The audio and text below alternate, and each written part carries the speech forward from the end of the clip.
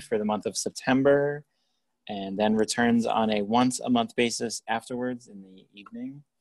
Uh, so be sure to check our calendar and sign up for any of these future programs. Um, Ashley will continue to bring us fantastic speakers on a variety of gardening topics. So now, please welcome Ashley Rooney. Thank you, Matt. Hi, everybody. And I have another fantastic speaker today. I met Holly when she jumped up during a garden club presentation and spoke about some conservation work she'd been doing. I then asked her to help me in cleaning up the Munroe Tavern lawns, which had many pit holes, and we needed to do something about them so nobody tripped. And she was wonderful to work with. Subsequently, we've gone on to do other things. But one of her interests was pollinator, was meadow gardening. And I thought this would be something to be fascinating for this audience. It's those meadows are wildflower meadows are a relatively new concept. You, certainly our parents didn't know about them, except if they were natural. And Holly's going to tell us how to do one today. Great if you don't want to mow your lawn anymore. So Holly, take it away. Thank you, Ashley. So, uh, hi everybody. Good afternoon. I'm happy to be here with you. I want to share a project that uh, I find uh, extremely exciting. Um, it's a little bit experimental, but uh, why not? Uh, a little bit about myself. Um, in 2014, I retired from 30 years in uh, public school library work uh, in Boston and Cambridge. And before I retired, I thought, what am I going to do for the rest of my life that's really going to be fun and interesting and hopefully outdoors? and I loved gardening and I loved design. So I started taking courses at something called the Landscape Institute, which was part of the Radcliffe seminars for many years, and then moved to Boston Architectural College where I started taking classes. So I started this certificate program in about uh, 2011 uh, and was lucky to be one of the last people to graduate from it before it folded in 2017, unfortunately. Um, so I learned a lot. I loved it, and I started working, and I started doing a lot of professional development after my certification. And um, I'm going to share with you a project that is kind of the result of uh, my environmental interests, my design interests, my gardening interests, and um, without further ado, I'm going to take it away. So I'm going to share my screen, and hopefully everything works right here. And we can take away the bar. There we go. So I'm calling this uh, Stylized Meadows for the Suburban Landscape. And um, I've had a number of influences on this, and I'm going to share those too. Let's see if I can make work this with my, uh, I guess I have to use my mouse. Uh, a number of books and people have influenced me. The first was uh, Doug Tallamy. Uh, reading Doug Tallamy's book about uh, the importance of insects in the ecosystem was really very important and its influence. I know a lot of gardeners uh, around um, and how we can use native plants to, to give food sources for these insects that really can't survive on non-native plants, um, which are a lot of our garden plants, unfortunately. I was also, uh, I also read uh, another book by him, which is a little bit more about design uh, with Rick Darke, uh, using these native plants for design.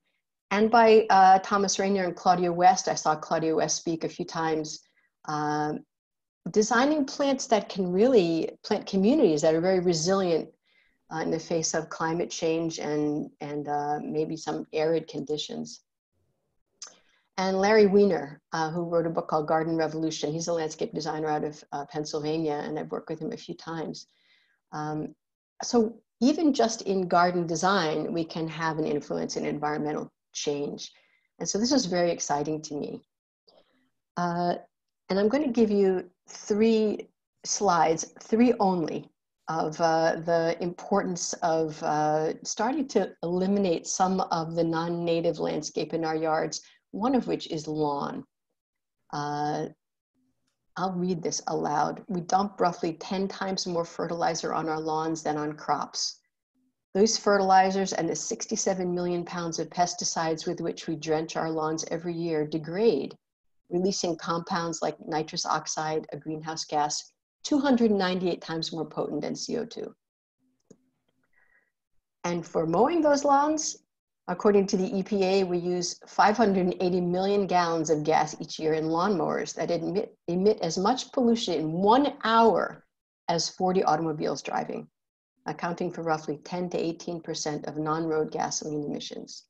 And if you're not convinced, after those two, according to University of Florida Ecology and Conservation professor Mark Hostetler, producing no seeds, nectar, or fruit, few creatures can use lawns as habitat.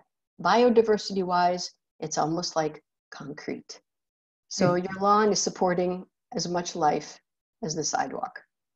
Years ago, we used to have a clover was acceptable in lawns some years ago, uh, but now we can't have anything but just just grass, just turf grass, which is a non-native, and it spreads and creates a, an impenetrable carpet. And with all the chemicals we put on it, particularly, nothing can live there. So I thought, what are what are some alternatives here? Some lawn is is useful if it's maintained uh, organically. It's nice. Uh, if it's mowed with a, a, electric mower or hand power uh, non-power mower, it's even better.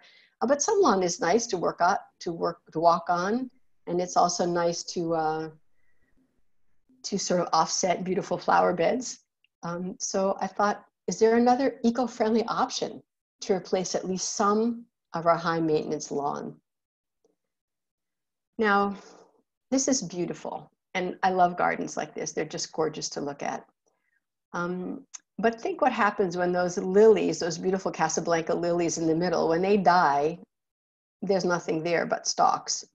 Excuse me. And when the when the other flowers are gone, uh, it's not as beautiful. So this kind of garden, you may be able to have some succession of bloom, but it requires a lot of maintenance. Um, same thing with this. What, what's not to love about this? How gorgeous it is. It has beautiful, design-wise, has beautiful rhythm, repeated colors and forms, um, but also that beautiful purple salvia. Uh, when that goes, you have to cut it all back, maybe get another rebloom. So there's a lot of maintenance required here. So I thought, what about a meadow? Now, this is uh, our Idylwilde Community Garden, the Idylwilde Conservation Area. The community gardens, you can see them uh, in the back here.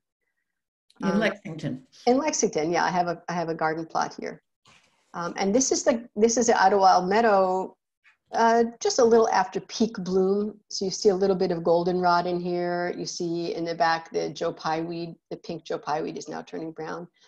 But meadows are just uh, a fantastic um, uh, source uh, for wildlife. I can go to the next one here. Beautiful wildflowers at certain times of year. Um, they're just iconic and beautiful. They give the eye a way to look across the landscape because you know we we live in a, a, naturally forested area. If we didn't mow, you know, a meadow has to be mowed uh, once a year, at least once a year, or it will revert back to a forest. Um, but these qualities of meadow, I thought really were interesting. Uh, and uh, let's go over them. So they have, uh, meadow is really a plant community with different plants occupying different strata. So there, there are some plants that stay at low ground level, some that are taller, taller, taller, et cetera, and the ones that can shoot up and, and receive the sunlight um, can tolerate more sun. And there's also a strata below ground. So some of the plants only take uh, shallow, are only shallow rooted and others are deeper and deeper. Some of the taller grasses are very deep rooted. Um, so, but they work together this way. They, uh, they form a community that's, that supports each other and they live together nicely. They're rich with wildlife. And when who's ever stood near a meadow, hears the bees buzzing and sees the butterflies. Um, and they change with the seasons and also with the years they evolve. So there's uh, there's something organic and, and interesting to watch about them. And once they're established besides an annual mowing uh, if you want to do that uh, there's not really a lot of maintenance. There's a little bit of weeding on the establishment phase um, but uh, but once they're they're done with that they're pretty much self-supporting but to create a meadow, and it, these large meadows are usually created from seed, so you need a fairly large amount of space. Uh, you need extensive ground preparation because if you've got a lot of seed in there already, you're going to get coming up what, what's already there. Um, you need careful plant selection, which is true in any garden, but you have to look at all these factors, soil type, sun exposure, the water, the plant compatibility, and that weed maintenance that I was talking about. I want to keep moving this around because I don't know if it's blocking my screen. Let's see. Okay. Um, plants in a typical meadow in this area, they can get pretty large and sometimes kind of aggressive. This New York ironweed can get about six and a half, seven feet tall. Look at the Joe Pye. Uh, there, are, there are lower cultivars of this Joe Pye, uh, but if they were allowed to go to seed, I have a feeling they might revert back to the type, which is this tall, uh, up to eight feet they can be. Indian grass can get even taller than this. And the Canada goldenrod that we typically see around here can be very aggressive and can sort of take over a meadow if there's not a lot of good competition. So, um, let's see. So I wondered if there's a way to adapt uh, this kind of planting to a typical suburban third or half acre plot and still have some positive environmental impact and make it manageable. So what special considerations might you need? So the first list I made here was that it should look fairly presentable, not too wild, not too tall, not too looming. Um, be bordered by something so it doesn't look out of control or get out of control. And look intentional. Uh, it should have flowers, at least during some parts of the growing season, so it can be pretty to look at. And um, some visual interest during winter if you don't mow it down. Uh, some of these plants can stay up. They can be visually interesting, but also they can provide seed for, for wildlife in the winter. Um, provide food for wildlife. And some other considerations for small meadow design, uh, which would be true for any garden design, you have to look at the kind of soil you have, the kind of light you have, the kind of water you have, the kind of wildlife conditions that you have. And in our area, this is the particular predator for plants um, that is driving a lot of us gardeners really crazy, these rabbits. So uh, in fact, this is a southern variety of rabbit that's come up into this area and, uh, is just multiplying like, like crazy, like rabbits. So we have to really think about these rabbits. So in thinking about making a, a small meadow like this, my plant selection criteria were um, what's the bloom time and color? Uh, what's the height? Very important. Uh, I want plants that have some kind of pollinator interest not only for, for nectar, but also for uh, laying eggs, just as with monarch butterflies. Uh, they'll lay their eggs on the milkweeds and then the larva can eat the milkweed leaves. So are there plants that will allow for that kind of nourishment for the young in, insects? Because then the birds come and they're left to eat those larvae and then you have a wonderful ecosystem. Uh, some foliage variation so that uh, it's also more visually interesting and plant companionability just uh, as I was talking about the meadow, that there are different strata above ground and below ground um, that you want the plants to be able to find so they can live together and yeah. distastefulness to rabbits, if we could do that. So um, an opportunity came along. So I had a neighbor, I have a neighbor who lives uh, quite around the corner from me. And um, he lives in a 1980s ranch and uh, so the, which seems to have the original foundation plantings, um, all of which are non-native plants. So we have the Meserve holly, uh, rhododendrons, uh, various kinds of azaleas, um, a big uh, yew on one side, a left side there, a, a, a tree in the front that is, is always driving him crazy because it gets too big. And he's got to, to try to keep these foundation plants from swallowing his house he had some large uh, pine trees where you see the this rough area here that he that he removed. And I said to him, David, you need a plan. so I convinced him that he could that he needed a landscape design plan. And I gave him a few different plans, uh, some which were rather traditional.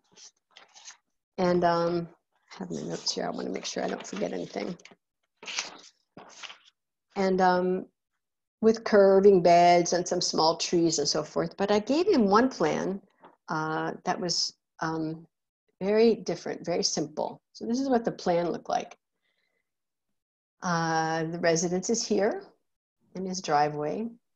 Very simple plant groupings, and I made them cultivars of native shrubs uh, as foundation plantings, a new path and, and something simple along the path, a nice lawn, and a meadow along the sidewalk. And he liked this idea. He is an architect, he likes uh, clean lines, and he wanted to try it. So I had an opportunity. Uh, did I tell you this is 10 feet by 100 feet? So this is a thousand square feet uh, area.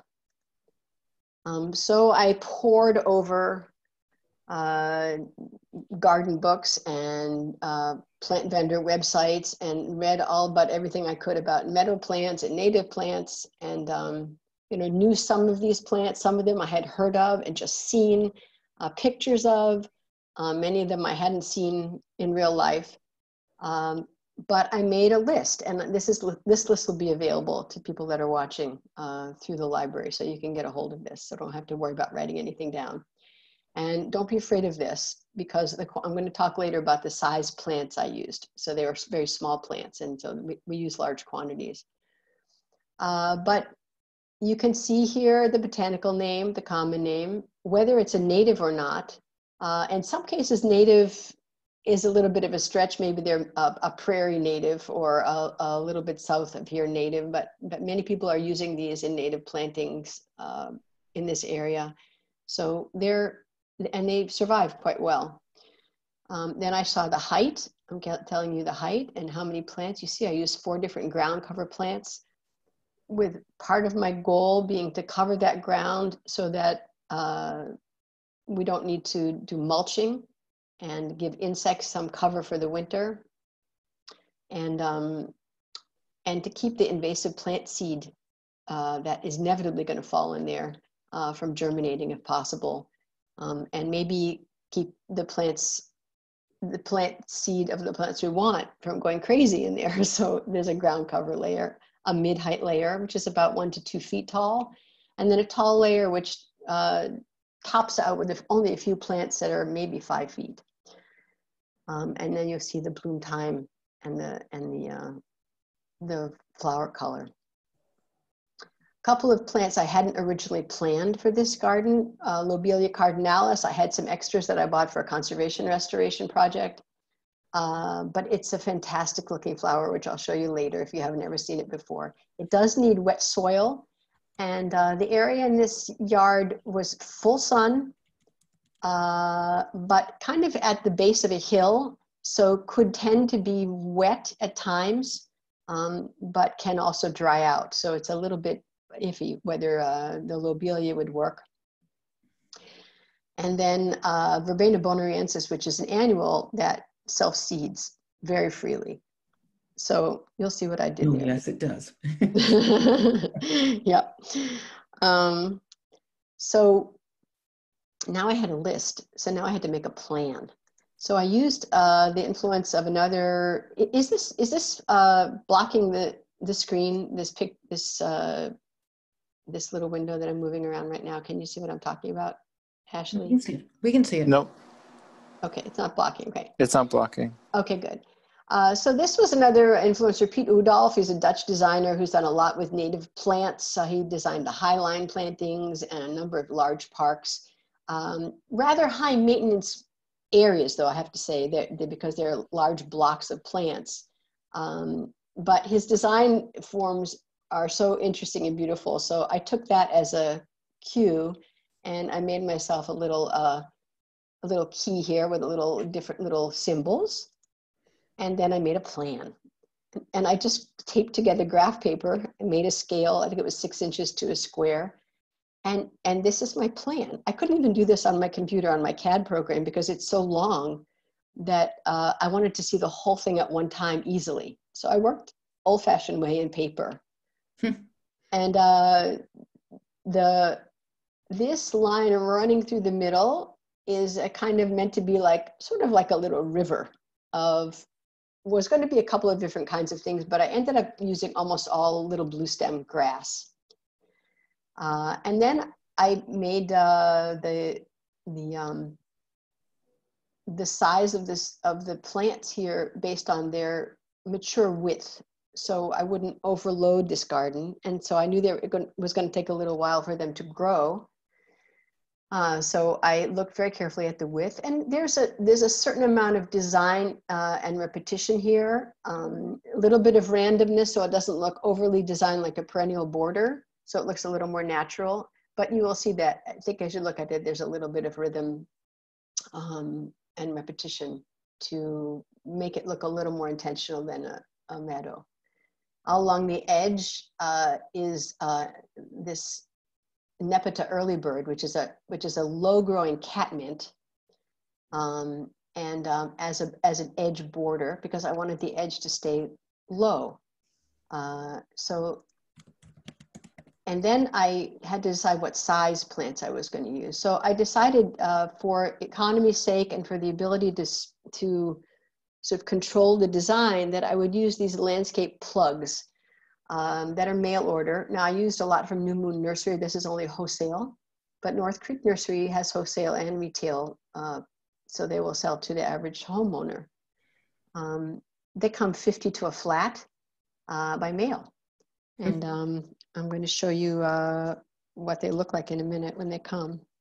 Um, another important thing is uh, preparation. So because, you know, I worked with a landscaper that I often work with um, to do this project, they scraped the whole front lawn uh, and put in new soil because they were putting in a new lawn. And I asked for in this area for a 50-50 compost sand because these kind of native plants, they really don't like a rich mix. They'll, um, they'll get too, too floppy uh, if the, they need to struggle a little bit. So they need to send down roots and they, they need to, just like herbs, you know, they're, they're, which, which taste better if they don't have a lot of uh, fertilizer, any fertilizer the native plants too, they don't like fertiliz fertilization. So I made a pretty uh, lean mix, but we use compost from the composting facility um, and sand. And I had to mix it for me and we laid that down. Um, so then the plants arrived. This is my husband who's helping me. This is my backyard. and we, and we delivered like 40 boxes. It's like Christmas. one day. so I got them fast as I could into the back. This was in uh, like late March. Um, you can see what they look like when they arrive. Uh, and um, uh, I didn't go over all the plants, but I'll talk about them a little bit. I had a, a ground cover that was a, a, a, I was looking for the native strawberry, but uh, all had, had, available was something called Fragaria uh, lipstick, which is a cross between Fragaria, which is a wild strawberry, and a potentilla uh, cinquefoil. So it's a very tough plant that can take uh, a lot of dryness um, and will run like a strawberry uh, with runners. Um, and uh, so there they are. It was lovely. It was really, really just, I was just in heaven. Um, let's see what I did next. I'm going to do a little preview here so I know where I'm going. Uh, right. So we did that. We had the prepared ground here. Um, I had to make a little erosion sock because there's a slight downhill grade and the organic matter was running off down into the driveway. So I made an erosion sock so we could keep that from happening. Um, and then we started laying out this this uh, this garden using my plan and, and, this incredible preparation of taking all these plant pots, numbering each quadrant.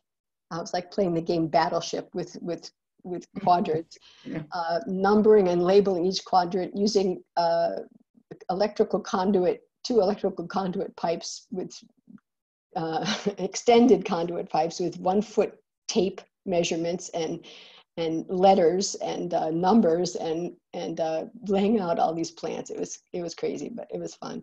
And then we didn't get all the plants at one time because uh, they, they weren't all available at the same time. So I had to put in popsicle sticks with codes so that I could then replace the popsicle sticks with the next plugs that came in. So it was a, quite an adventure. and uh, I said, "What what are what are you taking another picture of me for?" Um, but I was really having a lot of fun. And at, at the end, uh, after we had filled in quite a few, it looked like this. Not much. My landscaper drove by, said, "What do you think?" Because it, you know, it was looking pretty good, and the lawn was looking nice. The the foundation plantings were looking nice, he said, looks good, but there's a lot of weeds in there, Holly. I said, they're not, they're not weeds, those are plants. so um, anyway, time passed as it does, and um, things began to grow, and they, they grew very slowly. We did uh, we did irrigate. So as the as this new lawn was being irrigated, we just had the heads turning and and spraying onto this area. If you don't have irrigation for these, they would die. They they, they need uh, irrigation that first year. Um, and then it began to grow more, and you're beginning to see the the nepeta from these little tiny plants is now. This is the same year. It, it grew quite large, and interestingly, the outer edge, because of the irrigation and because the lawn is also irrigated, water is, is seeping into this, uh, this meadow area. So it's definitely wetter over here. And that catmint doesn't like the wet. Mm. Uh, so it's a little better up at this uh, this uh, northern end, but as you move toward the driveway, um, I'm having a hard time getting some of the nepeta nepeta to uh, to live.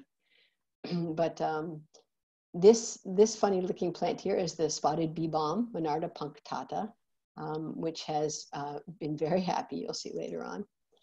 Um, and the Verbena bonariensis that I brought in just from seedlings from my own yard uh, went berserk. It had basically no competition and it ended up very tall and it was really quite wonderful to watch and the butterflies were crazy about it. The homeowner wasn't so crazy about it. And the next year, um, he he pulled it out at the end of the year, but a little too late for it to not seed. so I, I pulled out about 5 million seedlings uh, this year. Um, but even so, quite a lot of it um, uh, seeded. But in fact, um, I think you can see, okay, this is another set, a few other sets uh, from the other direction. Just seeing um, how it's growing in. There was one grass that, that was supposed to be a little blue stem, ended up being something else, and I had to pull it out. So there was a mistake there. Uh, and down here, I'll show you this in a minute, is one cardinal flower that, that made it last year. Um, this is the Pycnanthemum incanum. This is a H-O-A-R-Y, hoary mountain mint, because it has, has a white, looks like a hoarfrost on the leaves. Um, that first year was blooming. There's more of the spotted bee balm. A little bit of uh, uh, goldenrod came in. Um, and there's that one cardinal flower. Lonely, but, but mm. promising. uh, and there's the verbena. Is this the first year sort of from across the street? This is the verbena bonariensis really taking pride of place and enjoying itself. Looks pretty there. Yeah, I thought it looked rather pretty. So as a summary of year one, we had lots of this spotted bee balm, the verbena. Um, this early bird did very well nepeta and the mountain mints. And when I talk about mints, we're not using peppermint and spearmint, which will overrun a garden and take just uh, take over everything. These are very particular mints, so don't go out and buy peppermint and spearmint for your garden. Um, mm. We had a little bit of the sweet goldenrod, uh, some of the anise hyssop, and the little blue stem did, did some work and look good. Um, hardly any echinacea, asters, and the liatris because of, guess why? Rabbits. Our friends, our friends, the rabbits. They ate them right down to the ground. But I knew this might happen. And um, I did see that the root systems were intact and they were in fact spreading because I began to see little shoots coming up in different places. So I thought, okay, rabbits are doing a pruning job, strengthening the root system. Let's see what happens next year. So then one year passed. Now here you can start to see this design. You can see my mm-hmm. little river of blue stem, little blue stem growing through. And you could see early, this is not a very flattering photo for the flowers, but uh, the Waldsteinia, this is a barren strawberry, has a beautiful yellow flower early, and the Nepeta had a beautiful purple flower. And mm-hmm. particularly on this drier end, it was absolutely gorgeous. Uh, I designed it so that the, the Waldsteinia would be kind of in the back part of this river and the uh, that other strawberry the, with the pink flower, the Fragaria lipstick would be in the in the these parts. Um, but strawberry I just I discovered doesn't really like to stay where you put it, so it's kind of moving around in different areas. Uh, around June this year, uh, mid-June, we're getting uh, a lot of nice growth. Uh, seeing a lot of cardinal flower coming up. Um, seeing this nodding onion, which is a plant I hadn't used before, but I'd heard so much about. Um, but no flowers yet. Uh, but I was a little nervous that there was no color, no flower color. Um, so I went out in a little bit, not a panic, but I said, oh, we got to get some color in here because I want it to look good. So I bought some, uh, about, about 15 one gallon uh, perennials, some cultivars. So I, I, wanted to control the color a little bit. So I got some pink yarrow. I got a pretty purple penstemon. I got some of the, and these are native plants, but cultivars, cultivated varieties. So if they came to seed, they probably wouldn't come this color um, if they if they seed. Um, I got some but, orange butterfly bush, uh, some Amsonia, some Monarda um, for a little early color, and that was good. It felt they, the, the height was about right, and it it kind of filled in and gave a little more interest. And um, and then kind of magic started to happen. It's really it's really quite amazing. I keep looking down because the I'm looking at Ashley down the bottom of my screen, but I, I know if I look up here, I'm looking at everybody else. so the nodding onion behind here is the Pycnanthemum incanum. This is the uh, hoary mountain mint, and this is the nodding onion, which is starting to show, which much later than you think an allium would bloom for you gardeners. Uh, it started to show flowers late in July, um, and um, and the this is the swamp milkweed, um, yeah. Asclepias incan- uh, incarnata, and the uh, cardinal flowers back there. Cardinal flower, thank you. I keep getting stuck between uh, botanical names and common names. Um, and you see the little blue stem coming up. So we're starting to get some some kind of pretty cool combinations and some real promise and some real flower. And I got my first echinacea. So the, this is the echinacea um, pallida, uh, pale coneflower, which has a very thin uh, pink leaf. It's very drought tolerant, um, unlike, unlike some of the other coneflowers, which really require some water to keep looking nice. These guys can tolerate drought, so, which is why I planted it here. So I got a couple of coneflower. I very excited that the rabbits didn't eat it all to the ground. You can see in the background the strawberry starting to fill in. Back here, there are a, a gazillion seedlings of the mountain mint, which went crazy. Um, and, um, and here you see the nodding onion starting to open a little bit. It was a very pretty, the, this doesn't capture the color, it's a very pretty light pink color, it looked like a chandelier. And they were coming in all different places. Um, these are, this is the strawberry, the Fragaria lipstick, this, um, this strawberry uh, cinquefoil cross ground cover, some of the Nepeta. and um, so that was like July, early August. And then, oh my goodness, it started getting incredible. So it, it, was, it's just as if someone turned on uh, mm-hmm. Technicolor. Oh, that's beautiful. And I, I just couldn't get over it. And now the, this is what's happening right now the cardinal flower, uh, I had added a couple more little cardinal flower plants, and now there's cardinal flower all in the middle. Um, the goldenrod, which is a sweet goldenrod, uh, Solidago odora, is blooming. The mountain mint, you see it kind of like weaves its way through but stays low. Um, and the, the little blue stem is beginning to turn this beautiful tawny color that it turns uh, in the fall. Um, so now I'm like a proud parent. I have a million pictures to show. The asters came in uh, this year, and the asters are blooming now with the mountain mint and the little blue stem and the goldenrod. Um, here's another picture of those combinations.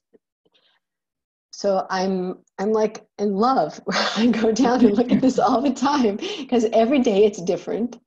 Um, and and every day it's got some kind of something growing that's a surprise um, and everybody who walks by, even when I'm, I come in there, I we do a little weeding once in, once in a while.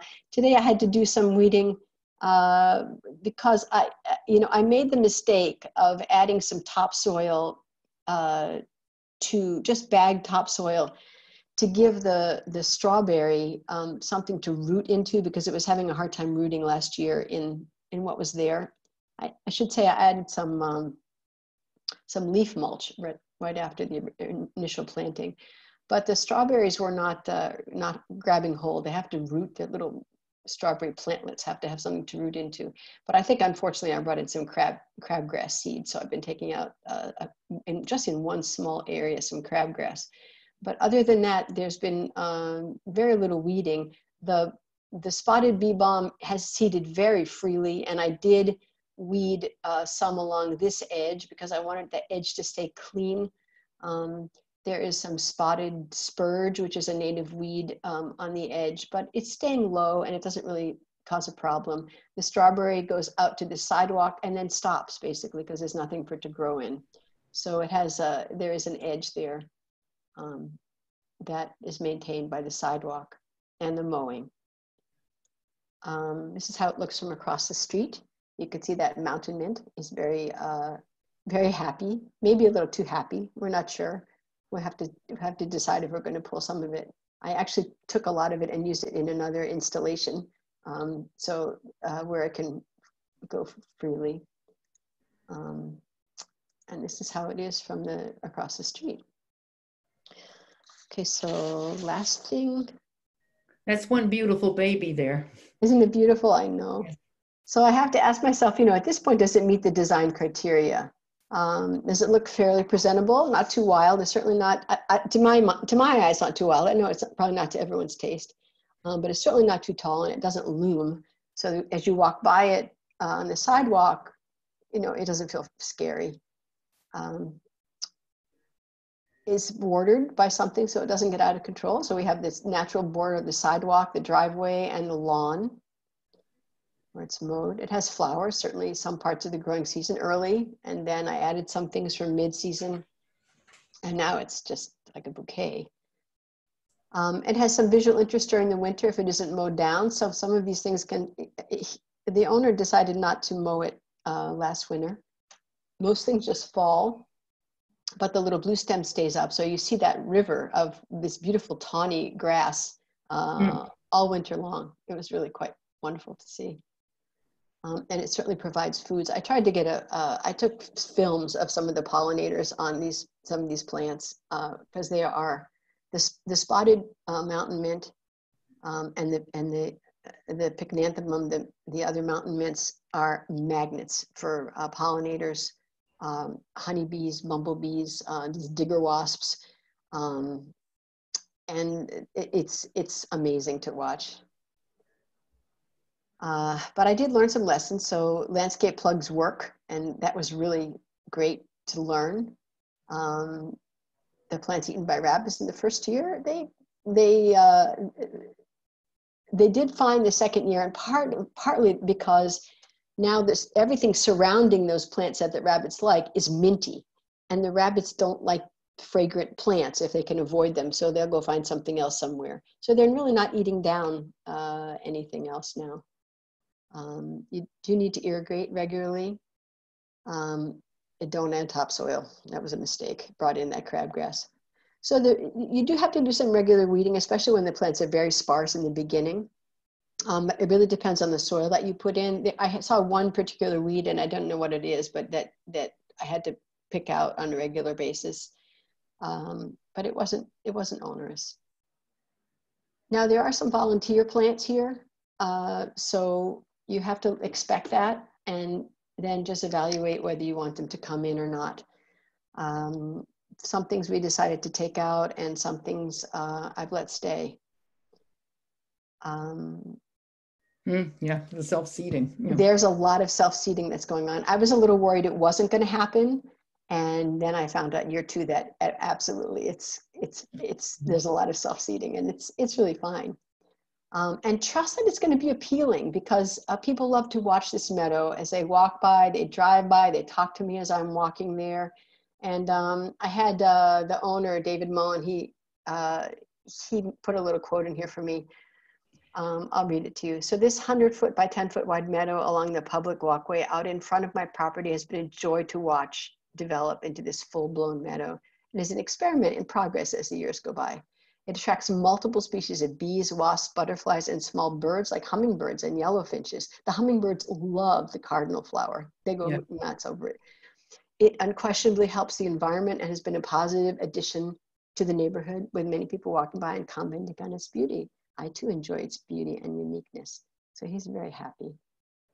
Um, and a few other tips, uh, just uh, planting and soil prep are really critical.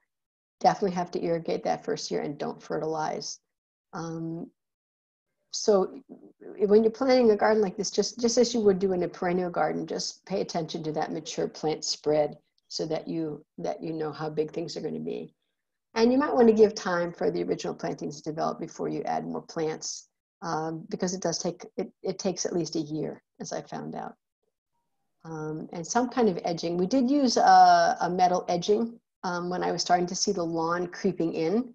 I said to David, we need some edging here. So we put in a, a metal edge, um, or you could do a deep cut um, along the edge, but the lawn will move into it. So there have it before um, and after. And, you know, it's an improvement for, for the neighborhood. It's really fun to look at and we're really enjoying it quite a bit. So I And think his that's- front landscaping looks better too. yeah. yeah, the Thank you, plants, the Holly. plants are doing well. We have uh, several questions and not much time, so I'm going to move Oh, okay. right on to them. Alrighty. Um, Vicki Blake would like a recommendation for part shade. A recommendation for part shade? Yeah, Well, you, you, you need to look at your plants and see if they can be shade tolerant. So there's a lot of, uh, a lot of plants that can tolerate some part shade. Um, some of these, like the Waldsteinia, the barren strawberry as a ground cover would be fine. Um, the others in this garden, most of these are full sun plants. Yeah. Um, recommendation for meadow plants for part shade. I, I, I can't, I, off the top of my head, I'm not, uh, I can think of a lot of milkweed does grow in part shade. The Asclepias, yeah, the, the Yeah. uh, swamp milkweed. Right. Mhm. Okay, but she also wants to know how come the bunnies aren't eating the aster and coneflowers? Because the, the mints are very strong. Yeah. Uh, and they don't, they don't like to be uh, amongst them. They don't even go in there anymore. I haven't even seen the rabbits in there once. Yep, and I was so- thinking the allium might also scare them off too. Yeah, they might not like the taste of onion. So one thing I was I was thinking as a suggestion might be to establish um, these distasteful plants first, and then add in um, year two. You could Mm. add in some of the plants that the rabbits don't like. Yeah, and there are a whole bunch. I had them in one of the newsletters, what rabbits don't like. Uh, an anonymous person would like to know, and this is a good question, how do you deal with the winter salt from the road or with snowplow? Any impact? No, uh, he put, the homeowner put some stakes uh, along the edge, um, along the edge here, the driveway edge, tall stakes, so people would know. And we actually did, uh, we did some. I did some short stakes and some string in the very beginning, so people, so dogs wouldn't go go in there. Um, but he did put some stakes. Um, he was he was afraid. The salt didn't seem to be any issue at all. Road salt was no issue at all. Mm. Uh, I- I yeah, but The town's not using much salt now. Yeah, it does, wasn't a problem. Okay, we answered the rabbit question. What native shrubs do you use against the house? Oh, uh, I have um, in the back here is a variety of red twig dogwood so that it will be nice against the house. I have Ilex glabra. Uh, I have the shamrock Ilex glabra in the back here and back here. This is a hydrangea, a panicle hydrangea called Little Quickfire, which doesn't get too tall. Um, and on this side, I have some Ilex verticillata. So this is a small uh, variety of um, winterberry holly. Okay, thank you. Um, what are the pros and cons of annual mowing? What do you recommend for a large meadow where it's impractical to do extensive soil preparation? Well, in this case, when you know what I've learned about about meadow development, if you've already got, if you're trying to establish a meadow on top of something that's existing already, it's difficult. Um, you really do need to start with clean soil. Um, but a, reg, a large meadow does need to be mowed uh, once a year because you're going to have. If, I- I've been already pulling some shrub uh, and tree seedlings out of this this little meadow. Mm-hmm. So that's going to happen. So you're, you're going to need to um, to mow it. Um, but for a large meadow, you know, if you if you have a large property and you have room for a large meadow that you would start from seed, you really need some professional care to do the maintenance. Uh, they may need to do some spot herbicide spray. They may need to do um, um, for weeds um, or flame. Uh, there are little, uh, not flamethrower, but a little uh, sort of torches that people walk around with, and they burn them sometimes. So there's a lot of maintenance required in a larger meadow. Anyone who has a larger meadow can tell you that. And if anybody was wanting to start a meadow for next year, mm-hmm. could they put down the cardboard now and lay it down with rocks and kill the grass over the winter and then does that work? Yeah, that should work. Mm-hmm. Yeah. Okay. Uh, what are the pros and cons of annual mowing? No, we did that one. You mentioned mowing down the garden. Is this recommended? and we I think we handled that. Will a perimeter of mint plants also be a good idea to keep rabbits out of a vegetable garden? Well, you know, it didn't. It didn't keep the. Ra- I, I hope that that perimeter of that catmint would keep the rabbits out, and uh, it didn't. So um, I think for a vegetable garden, you need a fence. Yeah. I yes. mean, the, the the the mint perimeter uh, probably would discourage them. Um, I think it, if they can't see in, that discourages them also. So if you had something tall on the outside, that might be helpful. Matter of fact, at a morning study meeting yesterday, several people mentioned they were not only having problems with rabbits, but chipmunks and woodchucks. So with the vegetable garden, it's better to have a wood base that goes a little under the soil and then a fence on top of it to keep as much out of there as possible. Mm-hmm um, it gets really hard otherwise. Mm-hmm. And it's mm-hmm. very sad to see the chipmunks get into your garden and take a bite out of each tomato and then toss it. To the oh, it really is unhappy. Mm-hmm. Um, let me see. How small a meadow can I make using these plants? Ah, so I was thinking about this. You could probably do something about, uh, you know, eight by 10 uh, maybe eight by eight or or something eight by three, something like that. Because there's some of them are, you know, good size, like these mountain mints. Some of the mountain mints are larger, some of them are smaller. Um, but I think to establish uh, a nice community of plants, it probably should be something about. I don't think you could do. I mean, you can put, you know, and you can put any of them anywhere. Um, yeah. But to make this kind of community um, maybe eight by four would be big enough, small enough. Mm-hmm. But you know, don't be discouraged if you don't have that much space. You can do something smaller too. You can try something smaller. And it depends how it's looking from the street and from your house. You got to figure out. It's a beautiful thing to look at what she's done there. So you want to see it from all views. Mm-hmm. Could you use larger size plants? If I have some larger ones around, then I could plug them in. Why not? Yeah. Why not? I mean, we were, we were doing a large area here. So, you know, to make it economically feasible uh, to cover the area, um, we, we wanted to use these smaller plants. Uh, but, you know, if you're using, if you're making a smaller garden or you're making a larger garden and you can afford to use larger plants, you know, you, you could, but there's something, I think there's something to be said for it developing together um, from small plants. Um, I don't know, that's just a supposition, but I think like it, a family growing up. Exactly. All the kids growing together. well, that, well, that might be one of the benefits of using landscape plugs. You and I looked at a meadow and she said that they had tried seed two years and it didn't work very well. And what mm-hmm. worked for her with the landscape plugs. And that's a large meadow that we were looking at. Right. Um, well, Holly, I thank you. I knew you'd do a beautiful job. This is wonderful. nice. Thank you. Holly is quite a landscaper to work with, um, and it's really been fun. Next week, and it's perfect because Holly led right into it, Linda Walsh will be talking about planning before you plant mm-hmm. or how you choose where you put your plants.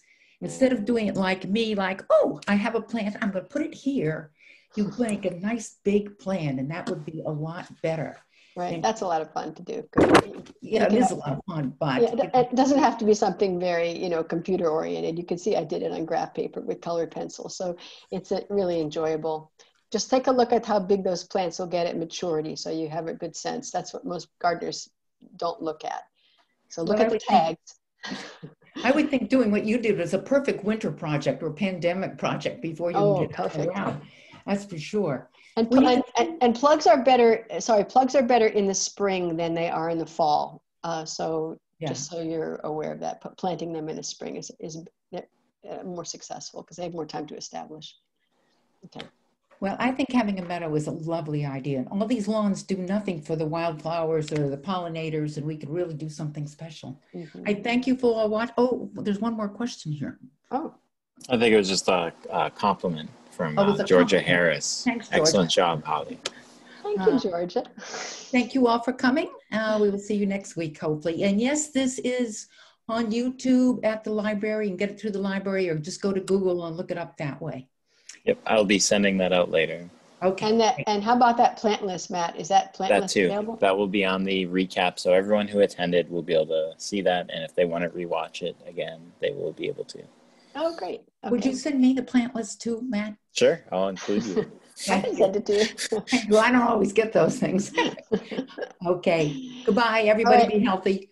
Thank you. Take care. We stay on for a minute, Holly. Yep. Okay. Thank you, everyone, for attending. You too.